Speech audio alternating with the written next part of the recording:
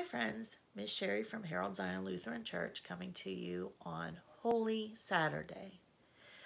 Yes, Holy Saturday.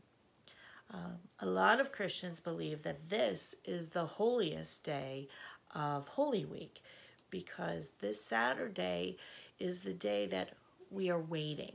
We are hoping, we are praying, we are mourning the loss of Jesus, but we are hoping that he will be risen again from the dead.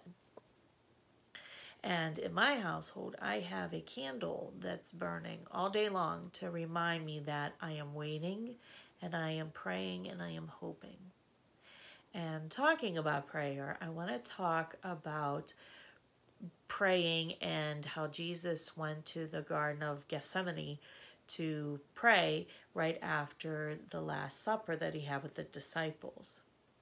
Um, Jesus knew that something horrible was going to happen to him and that it was his father's will. But he was scared. He was struggling with it. Just as we get scared and how we struggle with things in our lives, Jesus was struggling too. He had the weight of the world on him at that point. So he prayed and prayed and prayed and he said to his, you know, to dad, Do I have to do this? This is going to be horrible. It's going to be painful. I don't want to do this. And Jesus was struggling between his human self and his father's will. So finally, God said, Hey, I'm with you. This is my will. It needs to be done, but I am with you. And for this short period of suffering, you are going to bring so much joy and glory to the world. So Jesus said, Okay, if this is what you want, Dad, I'm going to do it. And then we know that later that evening, Judas brought the Roman army and they arrested Jesus and they found him guilty and they crucified him. So Saturday, we're just waiting. And I thought while we were waiting and praying, I would talk about the prayer that Jesus gave us, the Lord's Prayer. Now, we say it every week in church, and you may even say it at home before dinner or before bedtime. And I wanted to talk to you about this prayer, and I wanted to break it down line by line so that you can understand it. Um, and I'm taping in my bedroom today because I pray a lot in my bedroom. It is the one place in my house that's quiet that I can close the door and I can pray. And sometimes I do say the Lord's Prayer. So let's start. It starts off with Our Father who art in heaven, hallowed be thy name. Now, our Father, of course, is God in heaven, and hallowed be thy name is because God's name is holy. God and his his the way his word and his name it's all holy and in the commandments the 10 commandments it says don't misuse God's name because it's holy. So the next then we have thy kingdom come thy will be done on earth as it is in heaven. God's kingdom is in heaven, but it's also here on earth. God's kingdom on earth is where we listen for God, where we feel God's love and that He's with us, and that we try to follow the rules, the Ten Commandments, the laws that He gave us. We try to follow those. So that's why it's His kingdom is here on the earth and it's also in heaven. And then we have, give us this day our daily bread.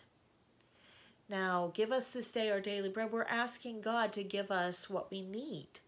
And what do we need to survive is um, the will to go out and forage for food and water and clothing and shelter and such. But most importantly, what we need is the bread of life. And that's what we're asking for here. Then we have, Forgive us our trespasses as we forgive those who trespass against us. Now, trespass is sin. That's what he's talking about here, is sin. And this is the big one. This is where Jesus comes into play. This is when he died on the cross for our sins so that we can be forgiven. So we are asking for forgiveness of our sins, and we're also asking for the strength to forgive those who have sinned against us, who, who have done bad things to us. So then we have, lead us not into temptation, but deliver us from evil. Now, God is always with us. He is always with us. He's in good times and in bad times. And we're asking Him here to guide us down the right path and lead us away from sin and the devil and evil. And then in the very last verse, for the kingdom and the power and the glory forever and ever. Amen. Now, what we're saying here is God created everything. He even created us. So we are a part of this kingdom and it's a glorious kingdom. And we're thanking him. We're like, hey, thanks. Amen. You know, this is great that we're part of your kingdom. So that's the breakdown of the Lord's Prayer. Um, and I thought maybe we can end today with saying the Lord's Prayer together. So let's gather, let's bow our heads, and let's pray together the Lord's Prayer. Our Father, who art in heaven, hallowed be thy name. Thy kingdom come, thy will be done, on earth as it is in heaven.